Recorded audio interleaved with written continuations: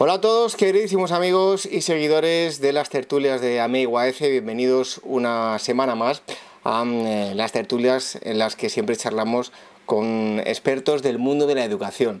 Y eh, hoy os vamos a hablar de cuentos, de cómo debéis de dirigiros a los chicos, cómo captar eh, su atención, porque tenemos con nosotros a alguien que ya ha estado en alguna que otra ocasión con, nosotros. Ella es Ana Bericua, em, ella es psicopedagoga, eh, cuenta cuentos, maestra de infantil y acaba de publicar un libro llamado El cuento activo, publicado con la editorial San Alejandría Ana, muchísimas gracias por estar aquí una vez más con nosotros.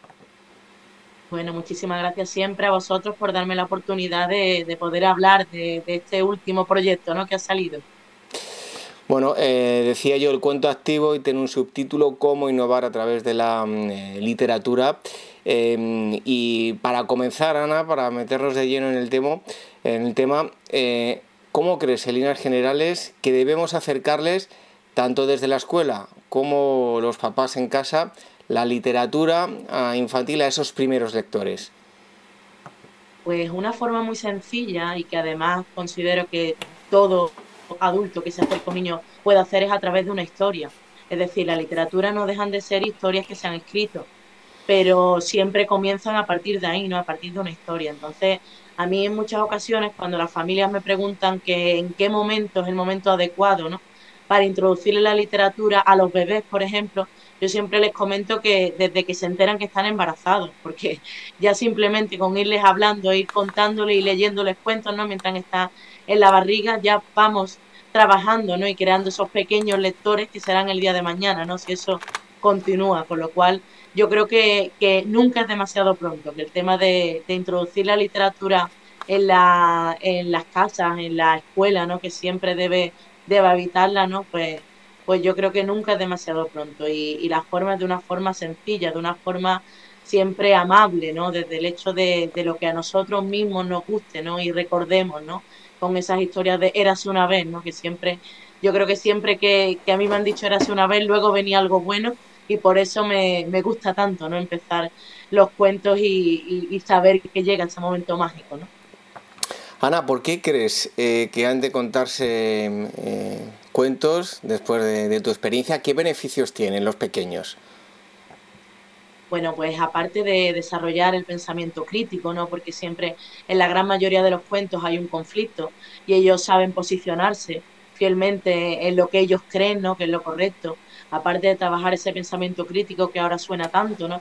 También la creatividad, porque cuando les vamos explicando, ¿no? Ese cuento y contando ese cuento, ellos en su, en su mente están desarrollando una serie de imágenes y están trabajando así la, la imaginación, ¿no? Y la creatividad. Trabajamos también la, la escucha activa, siempre porque nos están escuchando. Esa conexión que tenemos con ellos con la mirada y cuando vamos gesticulando, ¿no? Para, para contarles los cuentos y además también la atención, ¿no? que ahora es una cosa que, parece que, se olvida ¿no? y que no, no se sabe cómo trabajarla, pues a través de los cuentos la atención sí que es algo que, se trabaja.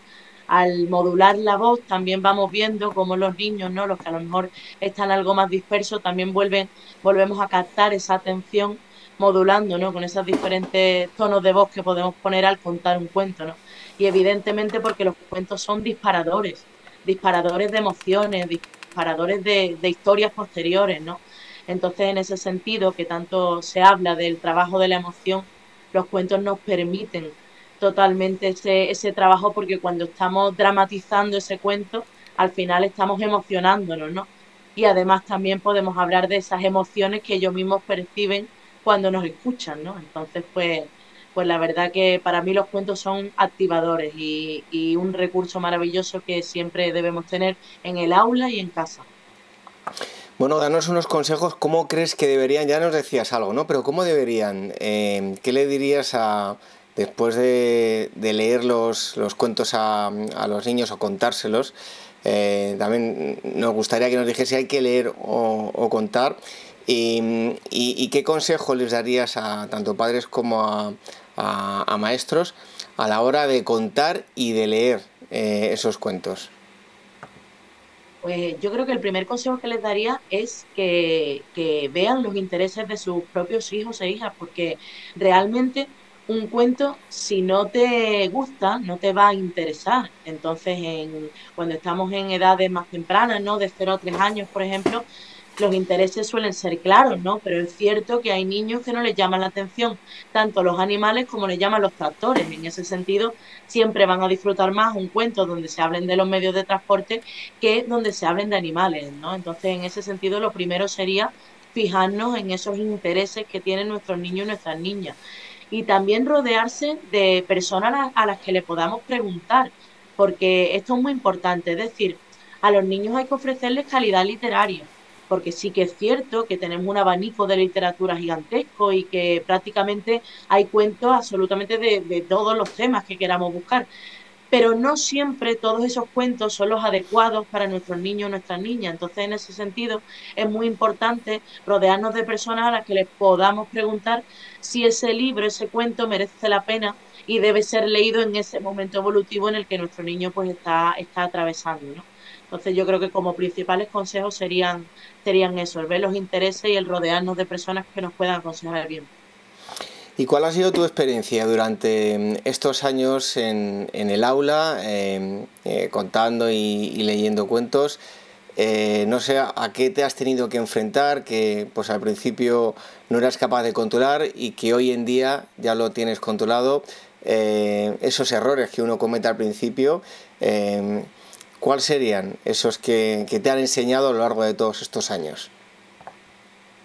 Pues yo creo que principalmente es cierto que yo, tanto trabajando como maestra como haciendo cuenta a cuento, he ido aprendiendo mucho, porque claro, cada cuento es diferente, cada forma de contarlo es diferente, y al final vas como limando determinados aspectos que a lo mejor antes no te, no te gustaban tanto. Por ejemplo, antes yo no dramatizaba tanto las historias, no gesticulaba tanto, como, como lo hago ahora, ¿no? Porque me di cuenta que la forma de gesticular y la forma de, de, contar los cuentos que tenga, al final es una forma de conectar y una forma de atraer, ¿no?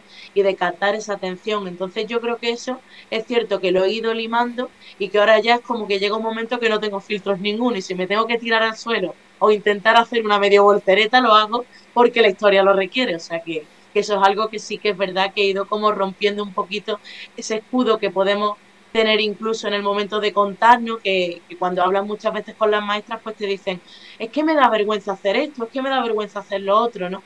Y yo siempre lo digo, pues cuenta, cuenta y cuenta, porque llegará un momento que no te dé vergüenza y que seguro que lo hagas estupendamente y así, así, a mí misma me ha, me ha ocurrido, ¿no?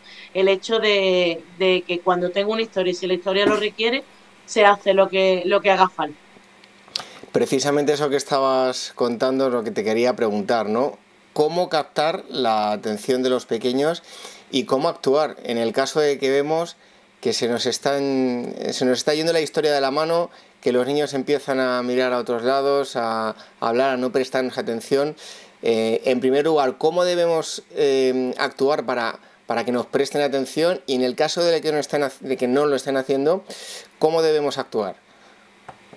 Pues bueno, yo siempre aconsejo el hecho de conocer el cuento que se vaya a contar, es decir, nunca coger un cuento así por casualidad que llega a nuestras manos y empezar a contarlo. Siempre es mucho mejor que el cuento lo dominemos, lo hayamos contado varias veces antes, aunque sea nosotras mismas, para saber efectivamente cómo se desarrolla la historia y sobre todo porque una vez que conocemos esa historia, nosotras mismas nos hacemos con ella y sabemos en qué momento podemos meter a lo mejor un ritmo más alto, en qué momento tenemos que bajar, en qué momento debemos subir el tono. Pero sí que es cierto que aunque dominemos la historia perfectamente, la conozcamos desde la primera letra hasta la última, sí que es cierto que en determinados momentos nuestros niños, nuestras niñas pueden irse, no pueden dispersarse porque es así. Y una forma, un consejo que podría dar es el hecho, por ejemplo, de nombrarlos. Yo esto lo utilizo cuando veo que a lo mejor un niño o una niña lo veo que está a lo mejor atendiendo otra cosa, suelo decir su nombre para volver otra vez a captar su atención. Y otra forma también es la mirada. Es decir, nunca podemos olvidarnos del público que tenemos delante en ese sentido, cuando estemos contando ese cuento, y por eso digo que es tan importante conocer la historia para no tener que estar leyéndola, podemos ir mirando a cada uno y a cada una. Y eso siempre les atrae un poco más y conecta con nosotros para meterse de lleno otra vez si se han dispersado un poco en la historia que estamos contando.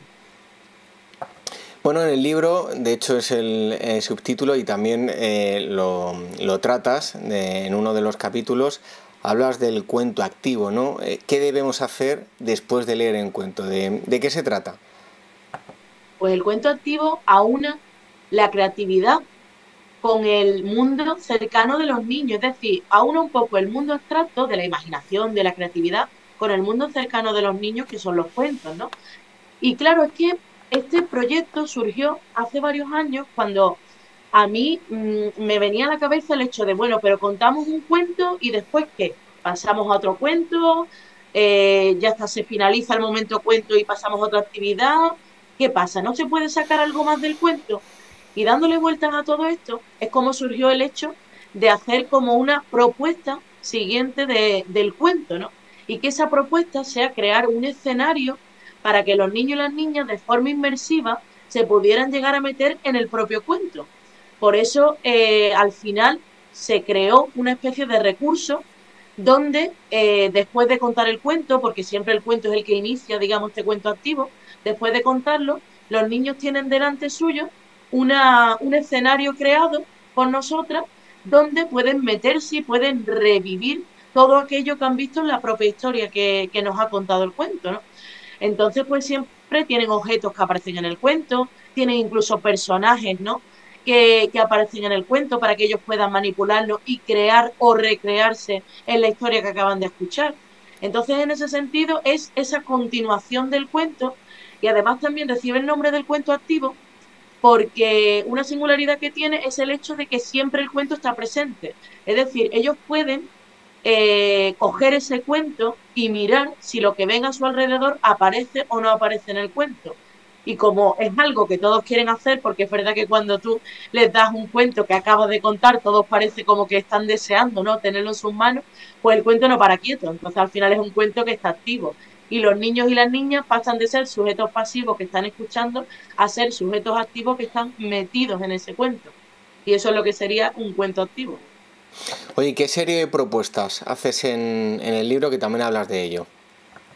Pues hago varias propuestas y está además en el libro con varias imágenes, ¿no? Sobre las que he ido haciendo durante estos años. Y dependiendo del título, pues voy creando eh, o he creado, ¿no? Eh, son las que están hechas porque yo esto es algo que sigo haciendo, ¿no? Y que además al principio tan solo hacía yo y que luego, hablando con mis compañeras de, la escuela, pues al final todo el mundo hace, ¿no? Porque le gustó la idea, ¿no? Y ya conozco un montón de gente que, que, por, eh, que por España ¿no? Y, incluso por el mundo me han contado y me han dicho, Ana, lo estamos haciendo, lo estamos llevando a cabo y es todo un éxito, ¿no? Y dependiendo del cuento, pues la verdad que, que han salido propuestas muy chulas, porque tenemos, por ejemplo, el de 600 puntos negros eh, que contamos y resulta que yo lo que les pedí fue a las familias que reunir 600 puntos negros, ¿no? O tapaderas negras o tapones negros y la verdad es que no llegué a conseguir los 600, llegué a 328, pero las familias se involucraron muchísimo en traerme pues todo lo que podía resultar un punto negro, ¿no? Y la verdad que fue, que fue espectacular, ¿no? El ver cómo, cómo al final lo habíamos conseguido entre todos, ¿no? Entonces habíamos creado un escenario lleno de puntos negros sobre un papel continuo y blanco y entonces pues la verdad que, fue espectacular el, poder verlo, ¿no? Y en, durante el libro pues puedes ir viendo un montón de, imágenes, de propuestas que hemos ido llevando a cabo. Bueno, y ya por último, nos gustaría que nos dieses unas recomendaciones, no de cara al aula o en casa a, cómo contar los cuentos, sino en general la vinculación de, de los padres y los maestros y la la literatura infantil con los pequeños. Recomendaciones en general, ¿qué nos puedes decir? Que se cuenten muchos cuentos, que se cuenten muchas historias, que hay veces que no hace falta ni el objeto físico del cuento, simplemente con la propia historia, como comenzábamos, ¿no? Eh, la entrevista, ¿no? Con la propia historia ya los niños los embelezamos contándoles, porque es muy importante que nos escuchen. Podemos contarles historias nuestras también propias, de cuando yo era pequeño hacía y ya empiezas ahí la historia, ¿no? Yo tengo un recuerdo, ¿no? De mi abuela, que fue la que me introdujo en este mundo de, las historias, porque simplemente continuamente me, contaba, me contaba cuentos, ¿no? Cuentos de tradición oral, cuentos muy antiguos, y, me los contaba absolutamente para todo, tanto cuando me quedaba en su casa a lo mejor a comer, como cuando me quedaba a dormir, cuando estaba por la tarde con ella, me iba contando, contando y contando. Y para mí, de verdad que el momento del cuento es un momento de regalo mutuo totalmente y creo que no debemos prescindir de ello y que las familias y en la escuela ¿no? deben seguir contándose los cuentos siempre, siempre, siempre. Deben estar presentes en el aula, tanto contados como, como que los tengan ellos a mano para poder crear al final esos, esos futuros lectores y que disfruten con la literatura, porque la única forma de hacer disfrutar con la literatura es que nosotros mismos disfrutemos con ella. Pues muchísimas gracias Ana por haber estado aquí con nosotros. Eh, volvemos a recordar el cuento activo, cómo innovar a través de la literatura, de la editorial eh, Sara Alejandría. Eh, y a Ana, pues le volvemos a dar las gracias por haber estado aquí una vez más. Así que mm, muchísimas gracias y hasta pronto, Ana. Muchísimas gracias a vosotros, David.